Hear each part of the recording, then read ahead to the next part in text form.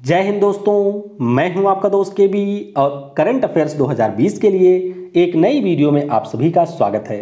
तो आज के इस वीडियो में हम अमेरिका के जो भी राष्ट्रपति रहे हैं या फिर अमेरिका के राष्ट्रपति चुनाव से संबंधित सभी प्रश्नों को डिस्कस करेंगे। तो ये ऐसे प्रश्न हैं जो कि पहले भी आपकी परीक्षाओं में पूछे गए हैं और आने वाले समय में भी आपकी परीक्षाओं में पूछे जाएँगे। तो इसीलिए पूरे वीडियो को बहुत ही ध्यान से देखिएगा। और वीडियो अगर आपको पसंद आता है तो इसे लाइक करने के साथ अपने सभी दोस्तों के साथ में शेयर ज़रूर कीजिएगा।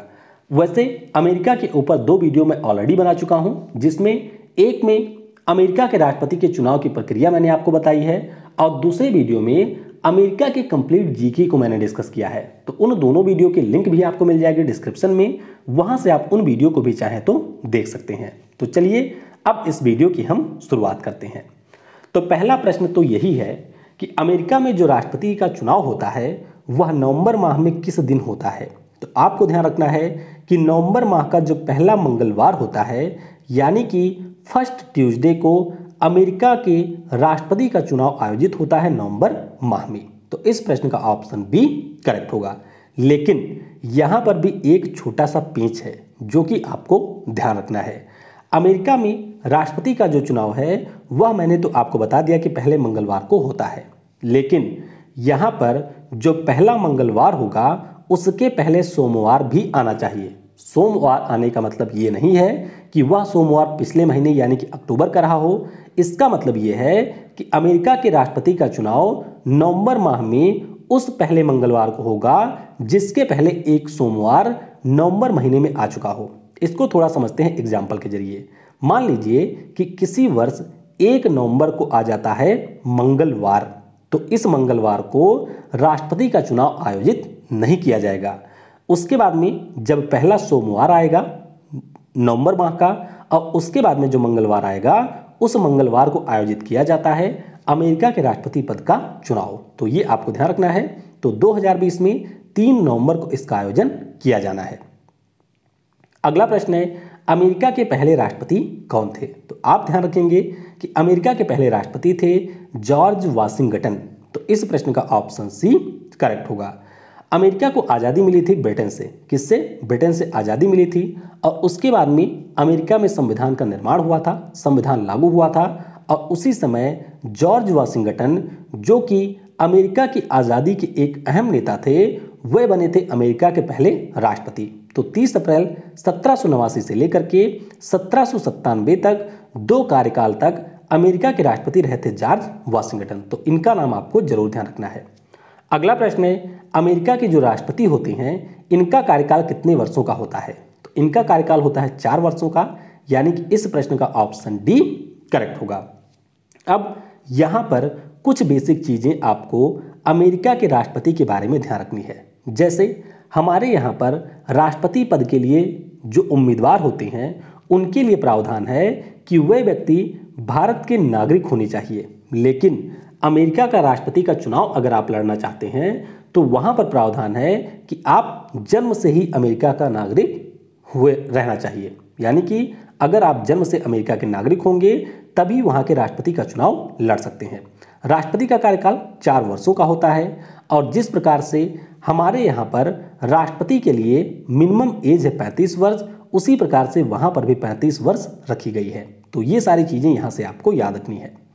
अगला प्रश्न है, कोई भी व्यक्ति अधिकतम कितने टर्म के लिए अमेरिका का राष्ट्रपति बन सकता है? अब जैसे हम अपने यहाँ के राष्ट्रपति की बात करते हैं तो कोई भी व्यक्ति जितनी बार चाहे उतनी बार राष्ट्रपति पद का चुनाव लड़ सकता है और वह हमारे देश का राष्ट्रपति रह सकता है।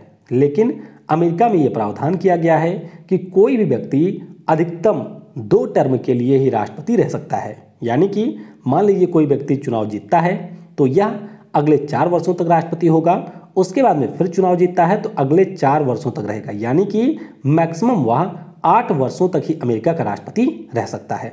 तो ये आपको यहाँ पर ध्यान रखना है। और बाईसवां संविधान संशोधन हुआ था 1951 या टू में हुआ था ये। उसके द्वारा ये व्यवस्था कर दी गई थी कि राष्ट्रपति का जो टर्म है, वह मात्र होगा दो बार के लिए।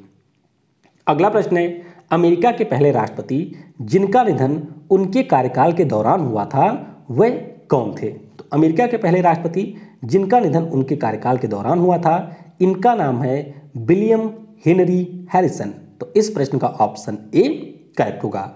तो ये अमेरिका के नौवें नंबर के राष्ट्रपति रहे थे। और मात्र 31 दिनों तक इन्होंने अमेरिका के राष्ट्रपति के रूप में कार्य किया था। तो यहाँ से आपको एक प्रश्न ये भी ध्यान रखना है कि अमेरिका के राष्ट्रपति का जो पूरा इतिहास रहा है, उनमें सबसे कम समय तक राष्ट्रपति के रूप में कार्य किया है विलियम हेनरी हैरिसन ने। तो इनके बारे में आपको ज़रूर ध्यान रखना है कि ये अमेरिका के नौवें नंबर के राष्ट्रपति थे और मात्र 31 दिनों के लिए राष्ट्रपति ये चुने गए थे अमेरिका के। अगला प्रश्न है, अब्राहम लिंकन जो कि अमेरिका के सबसे प्रसिद्ध राष्ट्रपतियों में से एक हैं। किस नंबर के अमेरिकी राष्ट्रपति थे? तो ये प्रश्न भी ऑलरेडी परीक्षा में पूछा जा चुका है। ध्यान रखेंगे, ये थे सोलहवें नंबर के राष्ट्रपति, यानी कि इस प्रश्न का ऑप्शन बी करेक्ट होगा। तो 4 मार्च 1861 से लेकर के 15 अप्रैल अठारह सौ पैंसठ तक ये अमेरिका के राष्ट्रपति रहे थे। और इनके बारे में आपको ये ध्यान रखना है कि इन्होंने अपना पहला टर्म कंप्लीट किया था। और इनके दूसरे टर्म की शुरुआत भी यहाँ पर हो गई थी। उसी दौरान 15 अप्रैल पैंसठ को एक अमेरिका के स्टेज एक्टर थे, जिनका नाम था जॉन बिल्केस बूथ और इन्हीं के द्वारा गोली मार करके हत्या कर दी गई थी अब्राहम लिंकन साहब की। अब्राहम लिंकन की हत्या इन्होंने क्यों की थी? क्योंकि अमेरिका में जो दास प्रथा थी, उसका काफ़ी लंबा इतिहास रहा है और उसके लिए एक पूरा सिविल वार चला था अमेरिका में और अब्राहम लिंकन ने उस दास प्रथा को हटाने की घोषणा की थी। तो इसीलिए इनकी हत्या कर दी गई थी जॉन बिल्केस के द्वारा। वर्ष 2020 में राष्ट्रपति चुनाव में जो रिपब्लिकन पार्टी है, उसके राष्ट्रपति पद के उम्मीदवार कौन है? तो डोनाल्ड ट्रंप चचा, यहाँ पर राष्ट्रपति पद के उम्मीदवार है रिपब्लिकन पार्टी से। तो इस प्रश्न का ऑप्शन डी करेक्ट होगा। अब आपको यह ध्यान रखना है, जो कि आपको ध्यान ही होगा, कि डोनाल्ड ट्रंप जो यहाँ पर मुस्कुरा रहे हैं, ये इस समय भी अमेरिका के राष्ट्रपति हैं। तो रिपब्लिकन पार्टी ने एक बार फिर से डोनाल्ड ट्रंप को यहाँ पर अपना उम्मीदवार बनाया है, जबकि माइक पेंस, जो कि अमेरिका के वर्तमान में उपराष्ट्रपति हैं, ये उपराष्ट्रपति पद के उम्मीदवार हैं रिपब्लिकन पार्टी से।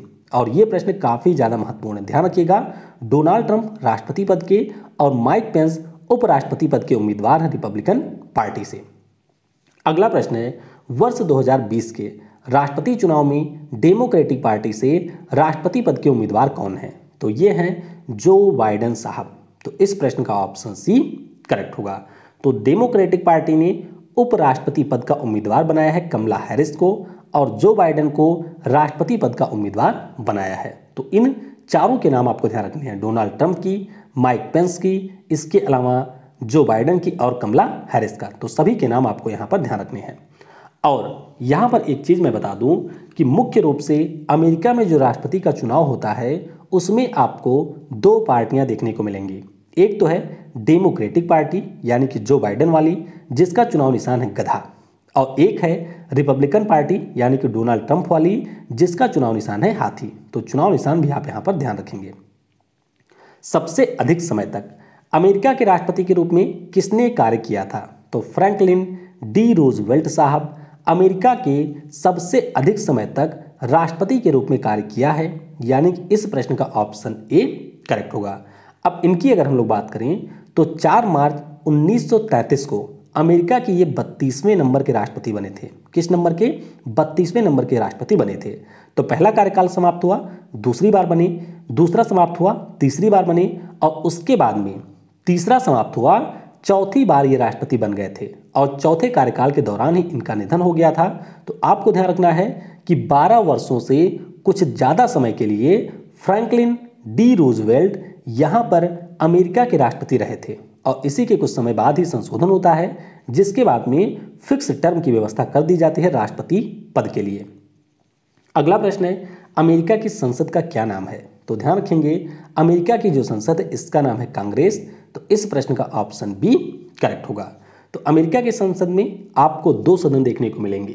जिस प्रकार से हमारे यहाँ पर दो सदन हैं, लोकसभा और राज्यसभा, उसी प्रकार से वहाँ पर भी दो सदन है। तो जो यहाँ का उच्च सदन है, उसे हम लोग सीनेट कहते हैं। सीनेट कहा जाता है उसको, जिसमें आपको कुल मिलाकर के सौ सीटें देखने को मिलती हैं और इसमें प्रत्येक राज्य को दो सीट दी गई है।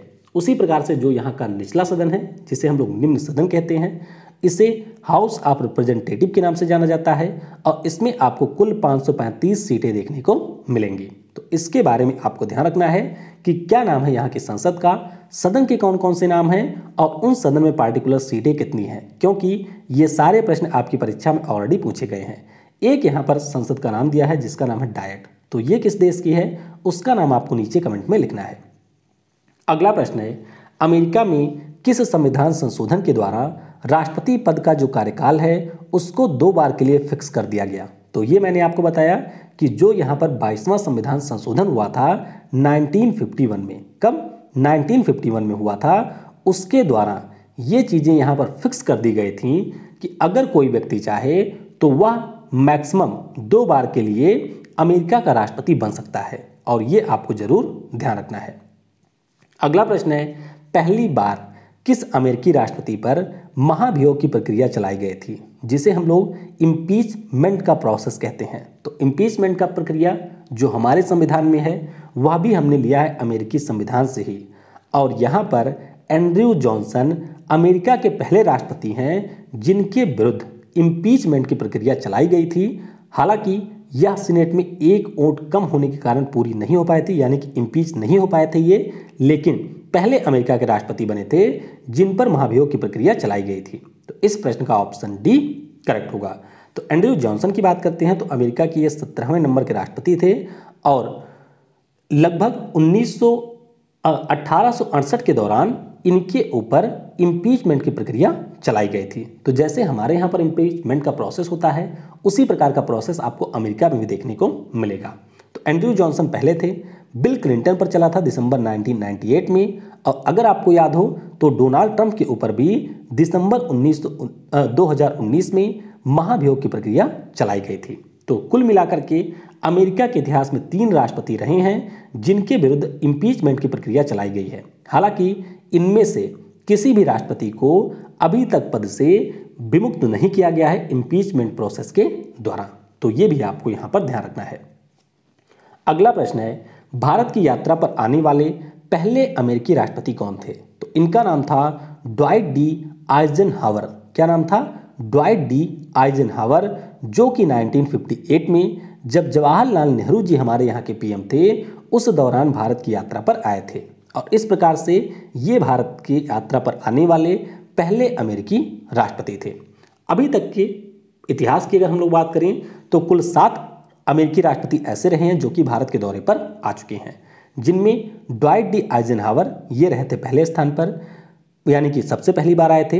रिचर्ड निक्सन आए थे 1969 में, जिमी कॉर्डर आए थे 1978 में, बिल क्लिंटन आए थे वर्ष 2000 में, जॉर्ज डब्ल्यू बुश आए थे 2006 में।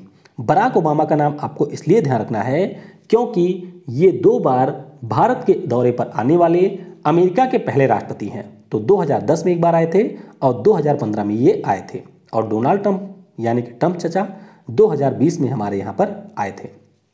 अमेरिका के पहले उपराष्ट्रपति कौन थे? यानी कि जब जॉर्ज डब्ल्यू वाशिंगटन यहाँ के राष्ट्रपति बने थे, उस समय उपराष्ट्रपति कौन थे? तो ये थे जॉन एडम्स। कौन थे? जॉन एडम्स थे। यानी कि इस प्रश्न का ऑप्शन सी करेक्ट होगा। तो जॉन एडम्स की बात करते हैं तो 1789 से लेकर के 1797 तक अमेरिका के ये पहले उपराष्ट्रपति रहे थे। और उसके बाद में 19 सेवनटीन नाइन्टी सेवन से लेकर के 1801 तक अमेरिका के दूसरे राष्ट्रपति रहे थे जॉन एडम्स। तो इनका नाम भी आपको ध्यान रखना है। अगला प्रश्न है, डोनाल्ड ट्रंप अमेरिका के किस नंबर के राष्ट्रपति हैं? तो ये है आपके पैंतालीसवें नंबर के राष्ट्रपति, यानी कि इस प्रश्न का ऑप्शन बी करेक्ट होगा। तो 20 जून 2017 को डोनाल्ड ट्रंप अमेरिका के पैंतालीसवें राष्ट्रपति बने थे। अब आपको यहाँ पर यह ध्यान रखना है कि मान लीजिए कोई भी व्यक्ति, दो, कार्यकाल के लिए अमेरिका का राष्ट्रपति बन जाता है तो इसका मतलब ये बिल्कुल नहीं होगा कि यहाँ पर हम लोग उसे दो बार के राष्ट्रपति के रूप में काउंट करेंगे। जैसे कि मान लीजिए ट्रंप हैं, ये पैंतालीसवें नंबर के राष्ट्रपति बने थे और 2020 में भी ये राष्ट्रपति बन जाते हैं तो हम इनको पैंतालीसवें राष्ट्रपति के रूप में ही संबोधित करेंगे। इसके बाद में जब कोई नया व्यक्ति अगली बार राष्ट्रपति बनेगा तो वो होगा छियालीसवें नंबर का राष्ट्रपति। जैसे कि अगर हम लोग बराक ओबामा जी की बात करते हैं तो वो थे चौवालीसवें नंबर के राष्ट्रपति। किस नंबर के? चौवालीसवें नंबर के राष्ट्रपति थे और वे भी दो बार अमेरिका के राष्ट्रपति बने थे। अगला प्रश्न है, अमेरिका में राष्ट्रपति के कार्यकाल के दौरान अगर उनका निधन हो जाता है तो उपराष्ट्रपति कितने समय के लिए राष्ट्रपति बनता है? तो आपको ध्यान रखना है कि जो भी उस राष्ट्रपति का कार्यकाल बचा होगा उस पूरे कार्यकाल के लिए उपराष्ट्रपति यहाँ पर राष्ट्रपति के रूप में कार्य करता है, यानी कि इस प्रश्न का ऑप्शन बी करेक्ट होगा। अब थोड़ा सा देखते हैं हमारे यहाँ पर प्रोसेस क्या है। देखिए, हमारे यहाँ पर अगर किसी कारणवश राष्ट्रपति का पद रिक्त हो जाता है, उस स्थिति में जो उपराष्ट्रपति होता है, वह राष्ट्रपति के रूप में कार्य करता है छः महीने तक और उसी छः महीने के भीतर नए राष्ट्रपति का चयन किया जाना आवश्यक है। लेकिन अमेरिका में ऐसा प्रोसेस नहीं है। मान लीजिए कोई भी व्यक्ति दो साल राष्ट्रपति रहा, उसके बाद में उसकी डेथ हो गई तो जो यहाँ पर उपराष्ट्रपति होगा, वह अगले दो सालों तक राष्ट्रपति के रूप में कार्य करेगा अमेरिका में। तो ये चीज़ आपको ध्यान रखनी है। अगला प्रश्न है, अमेरिका में कुल राज्य कितने हैं? तो अमेरिका में जो राज्य हैं, उनकी संख्या है पचास। कितनी? पचास राज्य आपको देखने को मिलेंगे अमेरिका में।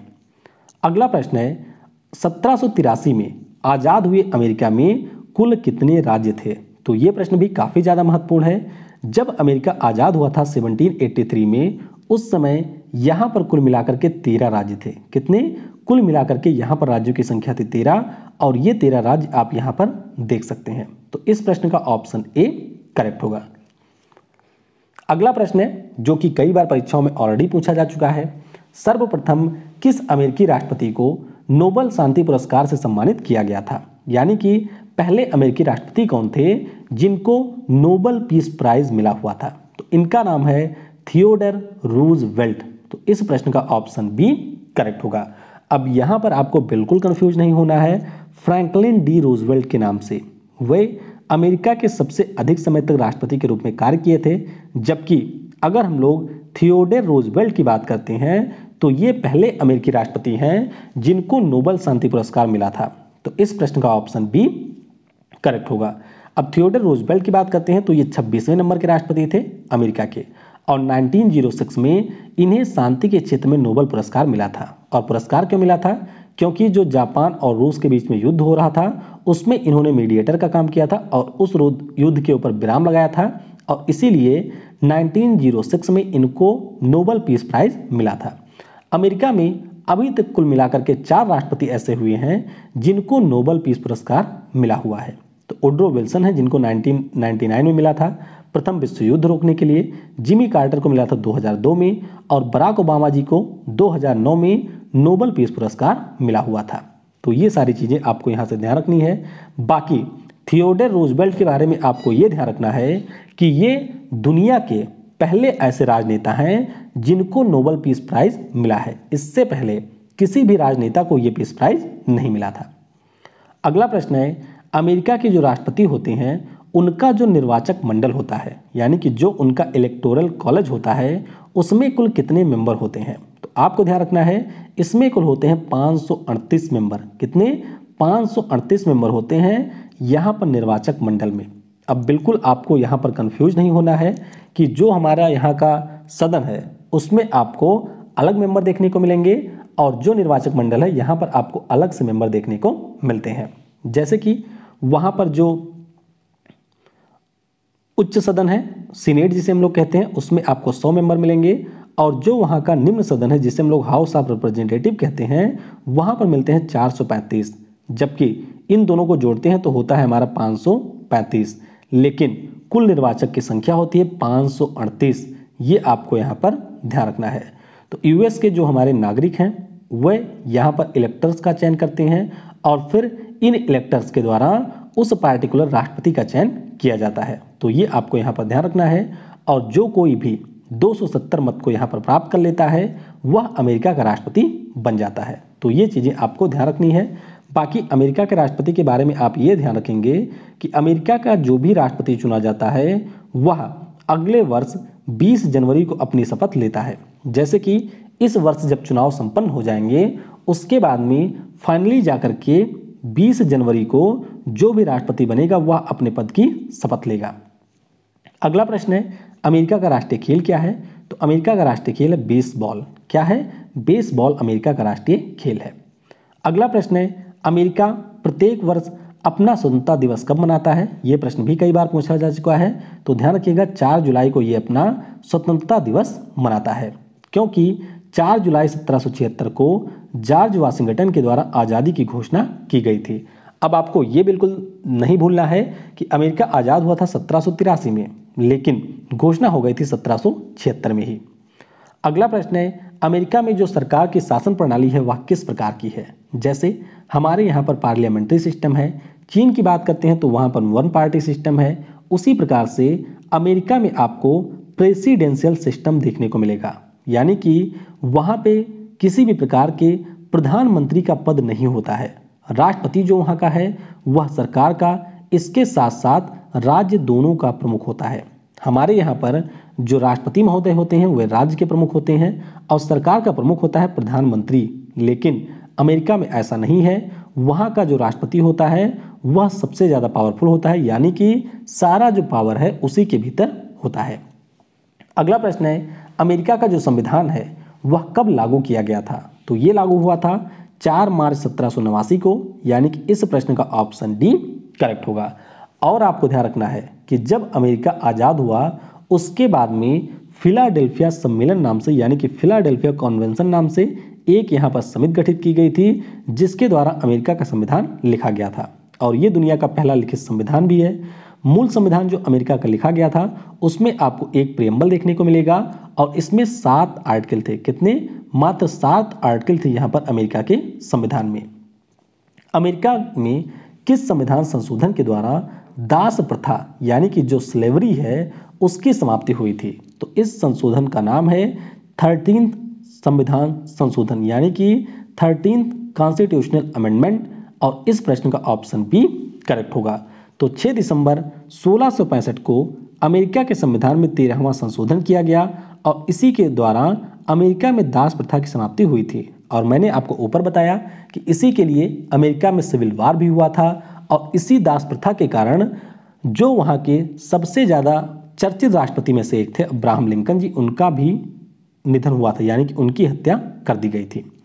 अगला प्रश्न है, क्षेत्रफल के दृष्टिकोण से अमेरिका का सबसे बड़ा राज्य कौन सा है? तो आप ध्यान रखेंगे कि जो अलास्का है, वह क्षेत्रफल के दृष्टिकोण से अमेरिका का सबसे बड़ा राज्य है। तो इस प्रश्न का ऑप्शन सी करेक्ट होगा। अमेरिका में कुल मिलाकर के 50 राज्य हैं, ये मैंने आपको पहले ही बताया, जिसमें क्षेत्रफल के दृष्टिकोण से सबसे बड़ा है अलास्का और कैलिफ़ोर्निया जनसंख्या के दृष्टिकोण से सबसे बड़ा है। अलास्का की अगर हम लोग बात करते हैं तो ये रूस का हिस्सा था, लेकिन रूस में आ गई थे भूखमरी जिसके कारण इसने अपने इस हिस्से को अमेरिका को बेच दिया था। तो आपके लिए यहाँ पर प्रश्न है कि जब अलास्का को अमेरिका ने रूस से खरीदा था तो उस समय अमेरिका के राष्ट्रपति कौन थे? उनका नाम आपको नीचे कमेंट में बताना है और किस वर्ष से खरीदा गया था, ये भी आपको नीचे कमेंट में बताना है।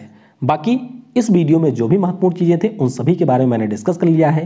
वीडियो आपको कैसा लगा, इसके बारे में आप नीचे कमेंट में बता सकते हैं। और अगर आपको किसी भी प्रकार का डाउट है इन वीडियो को लेकर के या किसी प्रश्न को लेकर के तो वह भी आप नीचे कमेंट में पूछ सकते हैं।